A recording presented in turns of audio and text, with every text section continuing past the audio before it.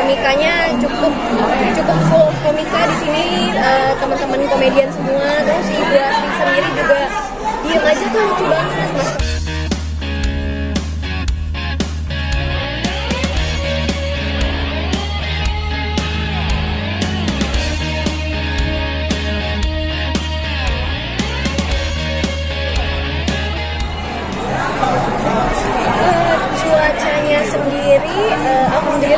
aja suhu di Bromo. Uh, saat itu lagi sangat menyenangkan tidak terlalu dingin dan juga uh, nggak terlalu menyulitkan untuk kita syuting ya nggak hujan juga. Tapi kebetulan uh, pada saat kita syuting bertepatan dengan uh, hari adat di sana ada kaseda uh, ada apa ya namanya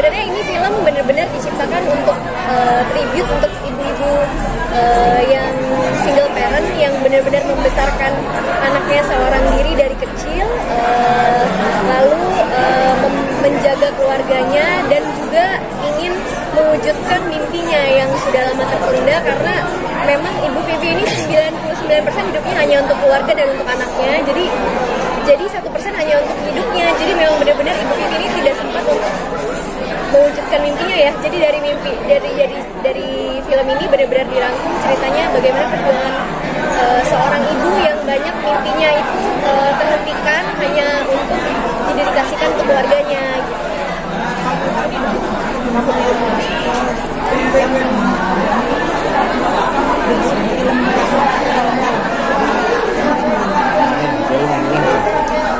Uh, yang paling menantang untuk syuting ini, yang paling menantang mungkin dari segi komedi ya, karena lingkungan uh, para komika-komikanya cukup cukup full komika di sini uh, teman-teman komedian semua, terus ibu asli sendiri juga diem aja tuh lucu banget. Mas Tora juga menurutku di situ tantangannya ya. Uh, di mana tuh yang kayak kayak aduh bagaimana ya untuk untuk komedi situasi untuk mengikuti keadaan dan posisinya mereka gitu sih. Jadi kamu sih yang selalu ber apa dalam ini kolaborasi dengan komika nih? Gimana nih penuh canda tawa ada kesulitan juga nggak sih atau penyesuaian dulu? Uh, sebenarnya masih banyak penyesuaian waktu kita uh, front shooting walaupun memang pre-productionnya sendiri udah cukup panjang sekitar dua minggu ya. Ada workshop terus ada reading juga tapi pada saat di lokasi mereka itu benar-benar tekun yang sebelum kita take mereka itu udah sejam sendiri di set yang udah udah bikin tektokan udah menciptakan ini itu menciptakan ini itu. Di situ tuh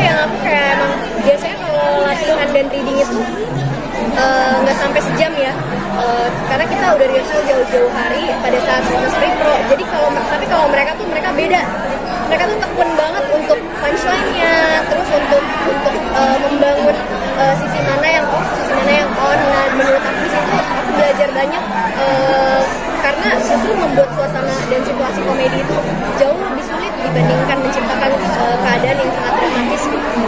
Ini baru pertama kali main komedi nggak sih? Komedi? Bukan yang pertama kali aku film komedi ya. Uh, ini baru ketemu orang-orang yang aku nggak pernah syuting bareng sebelumnya, jadi cukup cukup seru dan cukup uh, menambah banyak pengalaman baru sih karena ketemu karakter-karakter yang sangat unik ya. Uh, jadi aku bisa melihat cara-cara mereka sendiri untuk menciptakan keadaan tersebut, terus kayak bikinnya on the spot, terus kayak apa ya? Terus tektokannya tuh harus benar-benar kompak gitu. Oke semuanya, makasih udah ngikutin kegiatan aku kali ini. Jangan lupa saksikan film Kejar Mimpi Gaspol mulai tanggal 6 Juli hanya di bioskop di seluruh Indonesia. Sampai ketemu. Oke.